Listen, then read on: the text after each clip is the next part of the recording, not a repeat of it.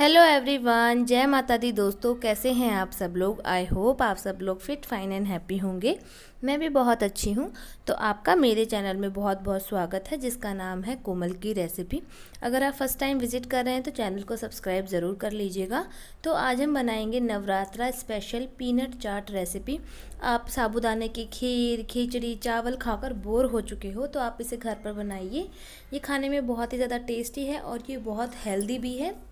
और बहुत ही इजीली ये बनकर रेडी हो जाएगी। मतलब झटपट बनकर रेडी होगी। तो चलिए देखते हैं इसे बनाना कैसे है। तो सबसे पहले मैंने यहाँ पर ले लिया है एक बाउल, जिसके अंदर की मैं डाल दूँगी पीनट ये कच्ची पीनट थी, इनको मैंने घर पर ही रोस्ट किया है। और उसके बाद जो इनका छिलका है, वह मैंने निकाल दिया है और बीच से मैंने इन्हें स्प्लिट कर लिया। मतलब इनको दो हिस्सों में डिवाइड कर दिया है। तो पीनट यहाँ पे मैंने हाफ़ कटोरी ली है।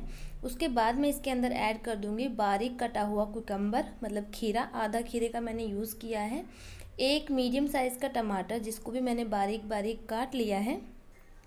और मैं इसके अंदर डाल रही हूँ एक उबला हुआ आलू, जिसको भी मैंने बारीक काट के ले लिया है। और एक मैं इसके अंदर डालूँगी हरी मिर्च। हरी मिर्च आप अपने अकॉर्डिंग कर सकते हैं, ज़्यादा भी डाल सकते हैं और इसे स्किप भी कर सकते हैं। आपको जितना तीखा रखना है, उतना। और इसके अंदर आप अपनी मर्ज़ी की भी वेजिटेबल्स को ऐड कर सकते हैं। तो अब मैं इन सब चीज़ों को मैं मिक्स कर दूँगी और आप देख रहे होंगे कि तो बहुत कम क्वांटिटी है क्योंकि मैं एक पर्सन के लिए बना रही हूँ। तो यहाँ पे मैंने ले लिया है सेंधा, नमक और काली मिर्च। अगर आप इसके अंदर जीरा डालना चाहते हैं तो आप जीरे को भून कर भी पीस कर डाल सकते हैं। और अगर आपके घर में लाल मिर्च का यूज़ किया जाता है तो उसे भी आप इसके अंदर यूज़ कर सकते हैं। तो मैंने सिर्फ़ थोड़े से इंग्रेडिएंट इसके अंदर डाले हैं। उसके बाद मैं इसके अंदर डालूँगी बिल्कुल छोटा सा नींबू का रस मतलब एक चम्मच के करीब मैं इसके अंदर नींबू का रस डालूँगी, जिससे कि थोड़ा सा टैंगीपन, खट्टापन आएगा और ये खाने में बहुत ही ज़्यादा टेस्टी लगेगी। तो आप इसके अंदर ऐड कर सकते हैं गाजर, गोभी और बारीक कटी हुई पालक मतलब जो भी वेजिटेबल्स आप डालना चाहते हैं, वो डाल सकते हैं। तो ये हमारी एकदम हेल्दी वाली जो पीनट चाट है, वो बनकर रेडी हो चुकी है।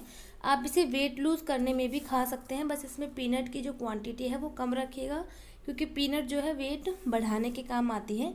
तो इस तरीके से आप इसे एक कटोरी भर के खा सकते हैं, आपको बहुत अच्छा फील होगा मतलब पेट एकदम से भर जाएगा और बहुत टाइम तक आपको भूख नहीं लगेगी, क्योंकि इसके अंदर बहुत सारी हमने वेजिटेबल्स डाली हैं और जो मूंगफली है वो भी बहुत अच्छी होती है। तो अगर आपको वीडियो अच्छा लगा हो, आपके लिए हेल्पफुल हो तो वीडियो को लाइक कर दीजिएगा। चैनल को सब्सक्राइब कर दीजिएगा और अगर आपने यहाँ तक मेरा वीडियो देखा है तो आप लोगों का तहे दिल से शुक्रिया।